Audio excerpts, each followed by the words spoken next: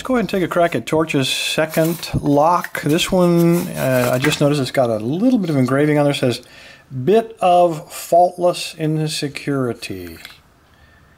Not bad. And we do have a key, mummied quite differently than the Hopefully this one is not a four pin lock. That's a whole five pinner. And you can see on the top there, five.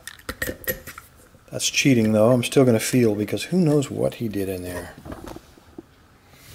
Okay, let's try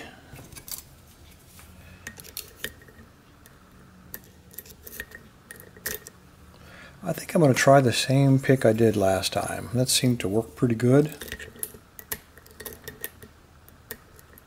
And again, we got the tricks with the a very strong spring in three and some very weak springs. It's almost like you can't feel pin in one and two. I can feel the metallic touch, but other than that, they just lift right up to the top. But three take quite an effort. Okay, top of the keyway. A lot more flop in this one than the other. I'll pick this one, as well go clockwise. All right, very light touch.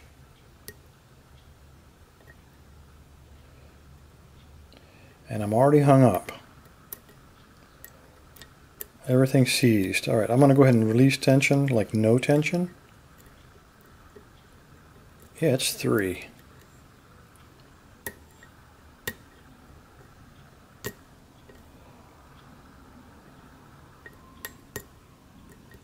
All right, that was three. It had to have no tension in order to even to begin to set. And now I'm on five. And I think he might be the same way because he's completely seized up.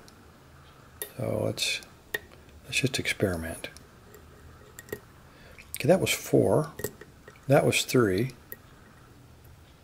I'm getting a little bit of counter rotation on two.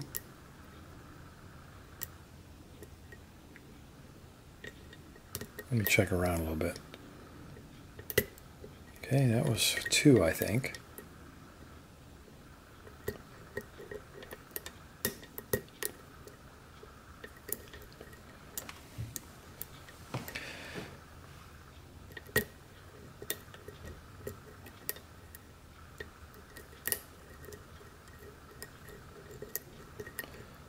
Okay, I'm getting a little paranoid here about the tension because I keep I've let everything off and now everything's falling back down. So I want to apply tension, but as soon as you do, everything kind of locks up. I feel like I got a little bit of a false set, not a lot, but but everything is seized up in place. I'm getting no feedback. Okay, I'm gonna try pin That's one, I think. A little bit of counter rotation on him.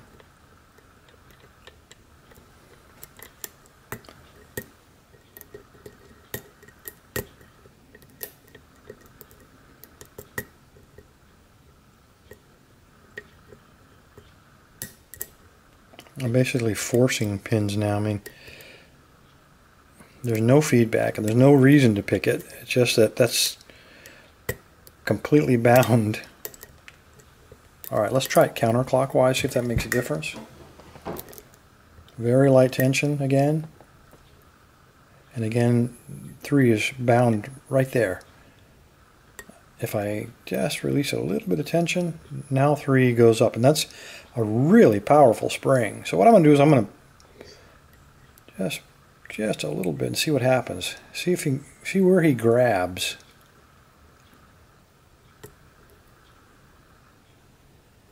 Feel like I'm going to break the pick. Okay, that was pin one. And everybody else is seized up.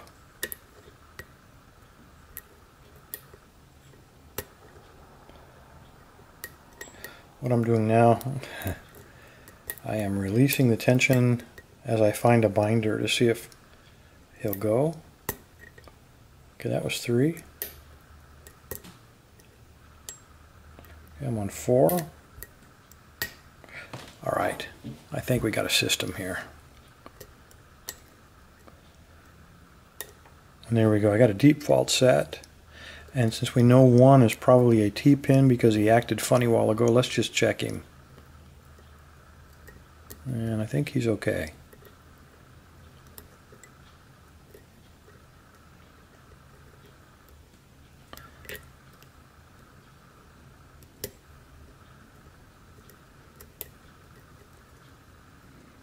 No idea, guys. I'm going to release a little tension and uh, pick one.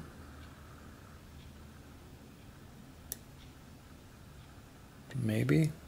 He doesn't want to pick. All right. And the other bound one is five. Let's try that one. Oh, there we go. It was five. All right, so we had two binders. I tried one. That wasn't working for me because it, was, it felt like something was going to drop. So I tried five when I released tension. Uh, I guess it made room for him to go up. So let's see what we got in here in this bit of insecurity. Oh my God, not another one of these friggin' C-clips. All right, let's, the tool should fit on this one because there's no, well, I said it would.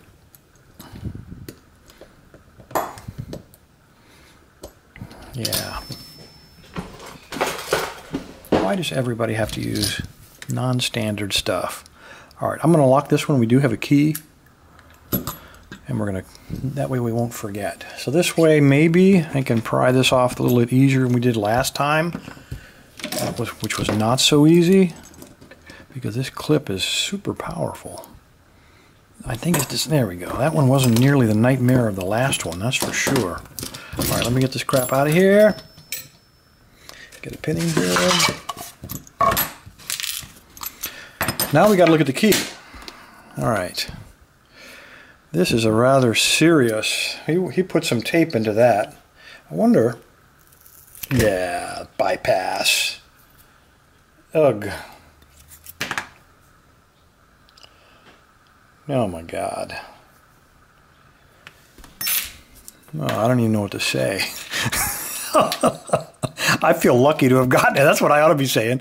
All right, well, let's see if the key even works.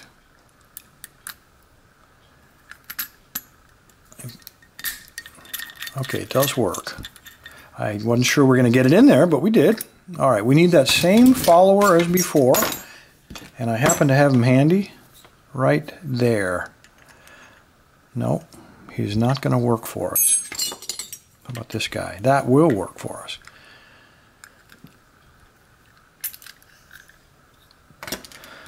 Okay, uh, same type of core. And, you know, I don't know if that was practice or not. Just look at the tail piece there. Some That almost looks like he practiced counter milling. But let's see if we got it in the lock itself.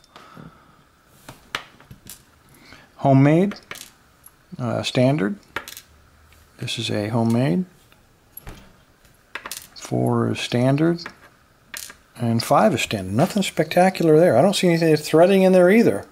Thank God. It's hard enough. I feel lucky to have gotten it. I'm sure luck played a very large part in that because it was touch and go there for a couple on those pins. Especially on the last one. I had no idea. All right, let's see what we got inside here.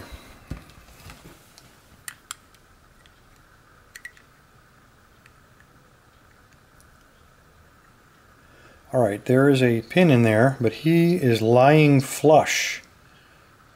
Actually he's below grade a little bit and that tells me that that spring is tiny tiny and it's probably too short for this lock. It is. There he is tiny little spring. And a standard driver okay next again, a tiny little spring under that one too, probably, because look how he just barely protrudes above the shear line. And that's a nasty looking little devil. And the spring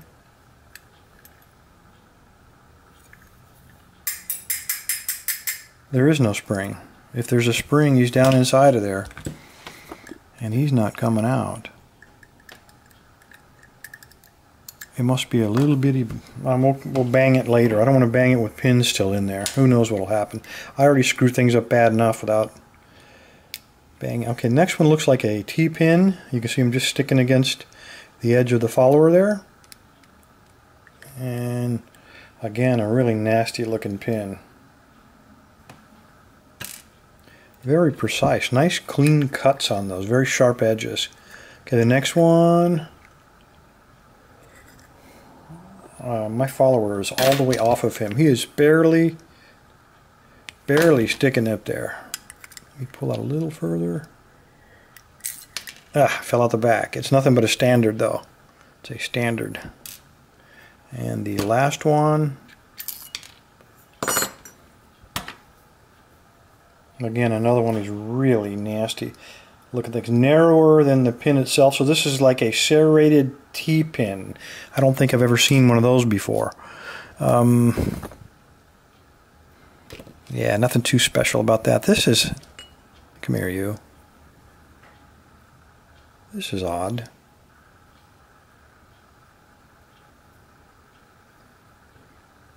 That is a really long pin. I don't think I've ever seen one quite that long before. And number three is the same way. Well, I'm dumping pins here, but here is another one of these baby pins. So here's a very powerful one. Nope, that's not him. Okay, we are still missing a spring. I don't know if he's stuck in there or he was totally missing. I'm thinking he's totally missing, guys. So one of these was springless. Here's what we're looking at. I, I don't know on those last two for sure which went into which, but here's what we're looking at. And I just noticed this guy too. He's See, that's what I thought pin 1 was. This is a pin that separates. It fits inside of there like that. I thought pin 1 looked kind of like that. That's why I gave him a little pull. And then I looked down and saw him starting to come apart. So it's a two-piece pin. So there's one of those in there. What a nasty looking lock. And what a nasty looking bitting. All right, Torch, you did a great job, I gotta say, especially using something like a Kwikset clone as your foundation. Uh, if you had threaded this, if you had threaded one or two of these, or maybe counter milled them, I think I'd still be fighting this devil. Anyway, thanks for your time. Stay safe. Stay legal.